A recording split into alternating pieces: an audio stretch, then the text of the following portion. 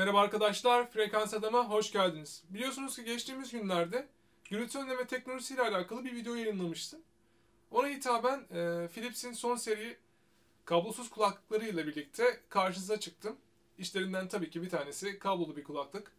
E, modelleri tanıyalım isterseniz. Şu an boynumda asılı olan 9850NC. Diğeri ise 8850NC. En son olarak da kablolu olarak gelen modelde 3850NC olarak geçmekte. Dilerseniz ufaktan başlayalım.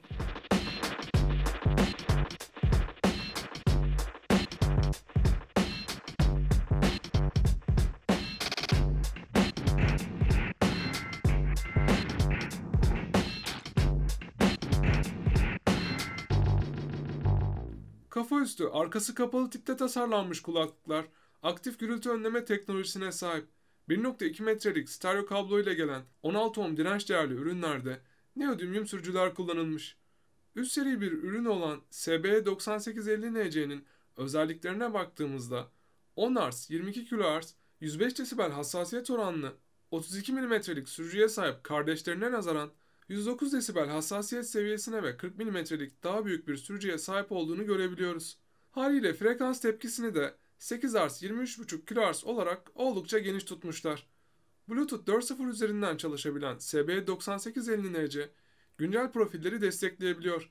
Ek olarak aptX ve A kodek özellikle bu ürün NFC desteğine ve eller serbest görüşme imkanı tanıyan bir mikrofona sahip. En çok hoşuma giden özellik ise iki cihaza kadar çok noktalı bağlantı seçeneğine yer verilmesi oldu. SBH9850NC diğer kulaklıklara nazaran Active Shield Pro X4 özelliğiyle donatılmış. 40 mW maksimum güç girişine sahip bu ürün lipolimer 16 saat dinleme ömrü sunan bir pil ile geliyor. 9850NC ve 8850NC arasında teknik detaylar ve aptX dışında pek bir fark yok. Aynı özelliklere sahipler. Bir bakıma 9850NC'nin kırpılmış versiyonunu da diyebiliriz. SHL 3850NC ise 8850NC ile aynı teknik özelliklere, sürücüye ve gürültü önleme teknolojisine sahip. Farklarına gelecek olursak kablosuz özelliği bulunmuyor. Direkt stereo üzerinden çalışmakta. Dahili pil yerine güç ihtiyacını ince kalem pil ile karşılamakta. Bu da pilin durumuna göre dinleme ömrünü etkiliyor. Beraberinde gelen pil ile 40 saat dinleme ömrü sunabiliyor. Kulaklık ortalama 230 gram ağırlığına sahip 9850NC ve 8850NC'ye nazaran 170 gram ağırlığı ile oldukça hafif gözüküyor. 26 Mart 2016 tarihi itibariyle SHB 9850NC'ye 700 TL, 8850NC'ye 500 TL, SHL 3850'ye de 230 TL ortalama fiyatla sahip olabilirsiniz. Kulaklıklar aslında birbirlerine çok yakın özelliklere sahip. Tasarım bakımından da benzer noktalar bulunuyor. Aslında bu kulaklıklara, bu üç kulaklığa giriş, orta ve yüksek seviye olarak da nitelendirebiliriz. Şimdi derseniz bu üç kulaklığın tasarımına yakından bakalım.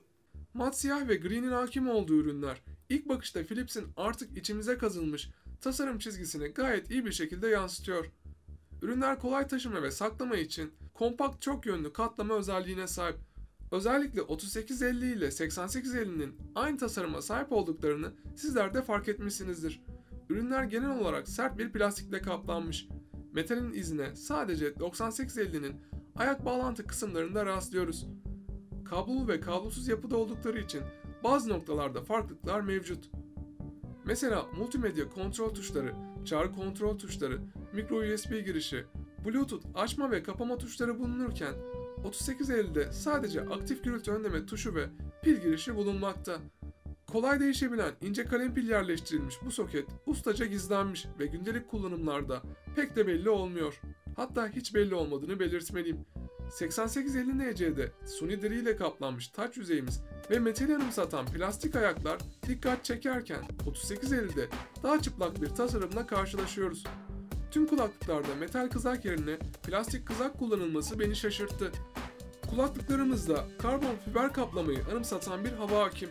Özellikle gövde yüzeylerinde görebilirsiniz. Kulağı çevreleyen bir yapıda olan 9850 diğer kulaklıklara nazaran 40 mm'lik sürücüsüyle ve daha kaliteli kulak pedleriyle dikkat çekmekte. Üst düzey, terletmeyen bir suni deri kullanılmış. Aradaki kalite farkını ve dayanıklılık oranını az çok sizler de kestirebilirsiniz. 9850 diğerlerine nazaran tasarım bakımından daha teknolojik bir havaya bürünmüş. Mesela hassas akıllı dokunmatik kontrolcümüz sağ pedimizde yer bulmuş. müziği ve aramaları kontrol edebiliyoruz. Mesela müziği oynatmak veya duraklatmak için, aramaları yanıtlamak için dokunun. Parçayı değiştirmek için yana doğru ve ses düzeyini ayarlamak için de aşağı veya yukarıya doğru kaydırın. Düğmeler arasında kaybolmaya da gerek kalmamış.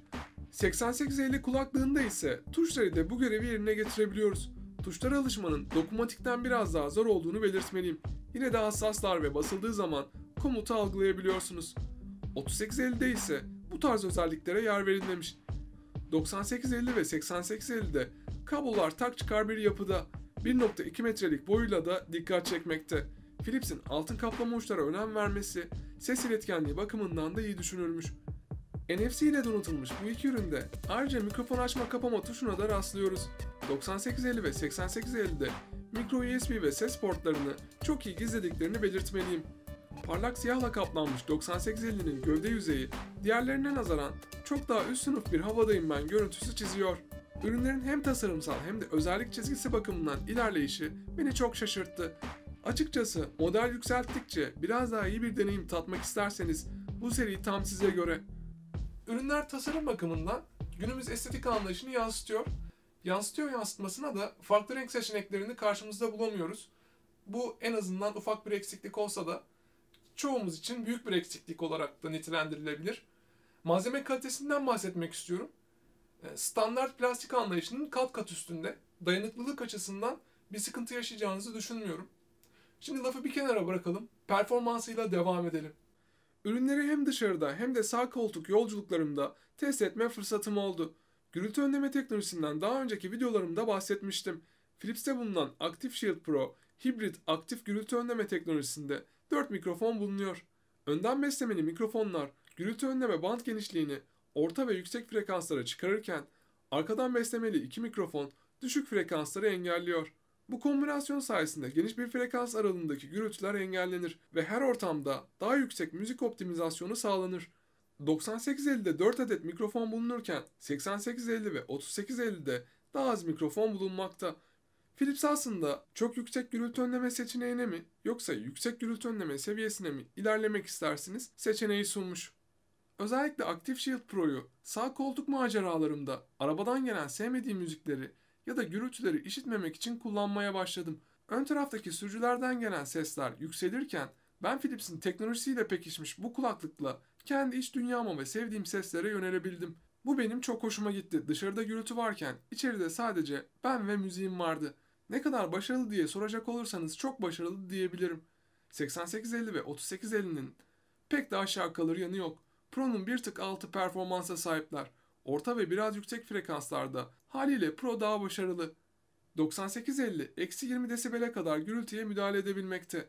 Aktif Shield ile pekişmiş diğer kulaklıklar ise eksi 15 desibel seviyelerine inebiliyor.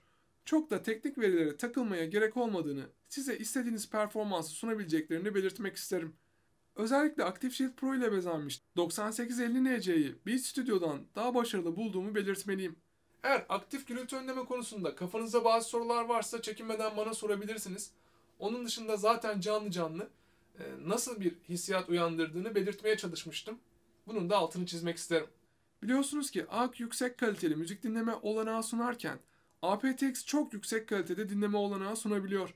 Ek olarak videolarda daha az gecikme ve tepki oranına sahip olduğu için performansı iyi yansıtabiliyor.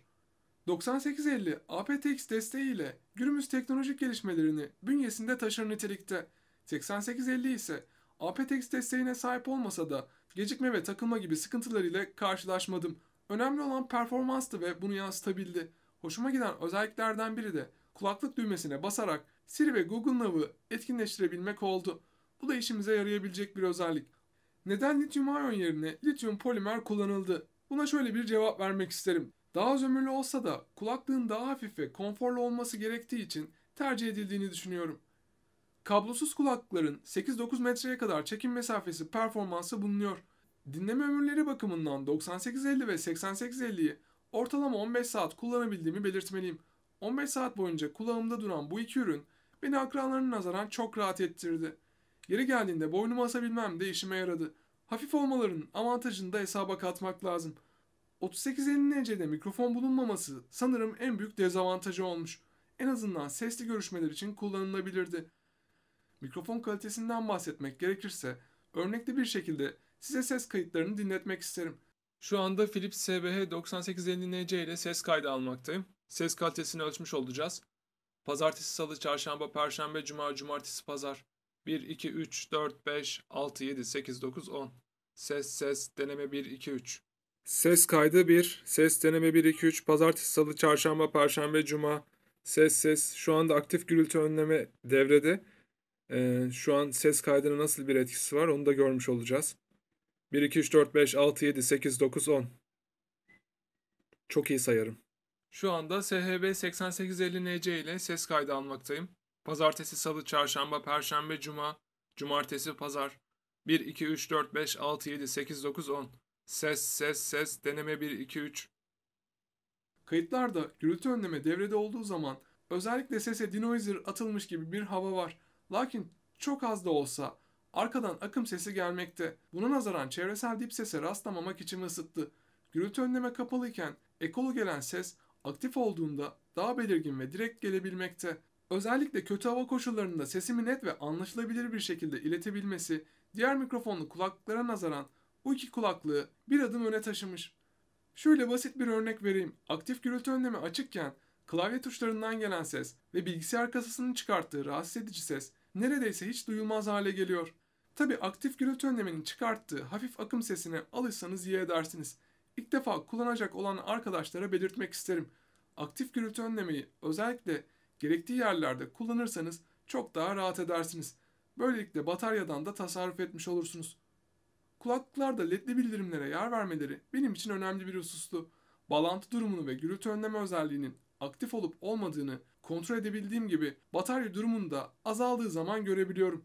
Kulaklıkların frekans tepkisi oldukça geniş tutulmuş. Dip ve yüksek frekanslarda bir sıkıntıya rastlamadım. Yeri geldiğinde tiz, yeri geldiğinde de bas sesleri tam kıvamında alabiliyorsunuz. Kırpılmamış kulaklıklar olduklarını belirtmeliyim. 40 mm'lik sürücüye sahip 9850 NC'nin ses kalitesinden bahsetmek gerekirse başarılı bir şekilde beni iç dünyama çekebildiğini belirtmeliyim.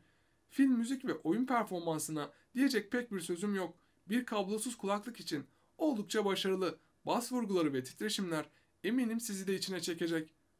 8850'nin pek de aşağı kalır yanı yok. Neodymium sürücüler genelde kristal netliğinde mid sesleri ve vokali yansıtabilmekte.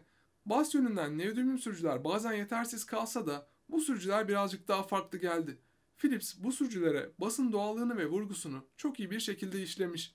8850NC'nin mid tiz ve bas yönünden 9850NC kadar dengeli olduğunu ve 32 mm'lik sürücüye göre sahne geçişlerini beğendiğimi belirtmeliyim.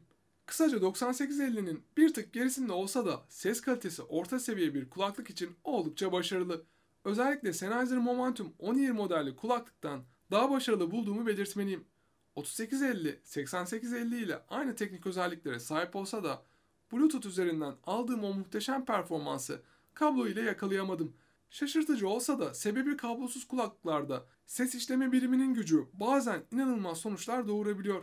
Açıkçası ne equalizer'a ne de ayara ihtiyaç duydum. O yüzden 3850'den tam bir performans alabilmek için ayar yapmam gerekti. Equalizer tepkisi başarılı olduğu için bass tiz ve mid performansının fiyatına göre Creative EP 2600'den daha başarılı olduğunu ve aktif gürültü önleme özelliğine sahip olmasının da ayrı bir avantaj olduğunu hatırlatmak isterim. Açık konuşmak gerekirse 8850'de aldığınız daha yüksek ses ve detayı 3850'de iki tık düşük bir şekilde alıyorsunuz. Bas birazcık daha düşük olsa da akranlarına nazaran tok ve vurguyu hissettirebilecek kıvamda çıkıyor. Kulaklığın birazcık daha indie, metal, rock, klasik müzik ve vokal yüklü parçalara yatkın olduğunu belirtmeliyim. Beat yüklü dubstep için 8850 ve 9850'yi tercih etme seçeneğiniz de bulunuyor. Kulaklıklarda ses kalitesi bakımından bir eksik görmedim. Diğer giriş seviyesi Philips kulaküstü kulaklıklardan daha farklı bir hava barındırıyorlar. Özellikle bas ve tiz açısından beğenimi kazandılar ve gayet keskin seslere sahipler. Kablosuz kulaklıklarda rastladığım en büyük eksiklik bence kafamızdan çıkarttığımızda devreye giren ve sesi durduran bir sensöre sahip olma işleri oldu. Açıkçası sensör ve 3850'nin mikrofon desteğine sahip olmaması dışında büyük bir eksiklik görmedim. Kulaklar ciddi anlamda birçok türün üstesinden gelebiliyor. Rahatlıkla istediğiniz müziği dinleyebilirsiniz. Özellikle 9850 ile müzik dinlerken bayağı keyif aldım. 8850'nin de aşağı kalır yanı yoktu. 3850'yi besleme konusunda e, sesi net bir şekilde alabilme konusunda birazcık uğraşmanız gerekebilir. Yine de 32 mm'lik bir sürücü için oldukça başarılı. Bugünlük de videomuzun sonuna geldik. Bir sonraki videomuzda görüşmek dileğiyle. Hoşçakalın. Paylaşmayı unutmayın.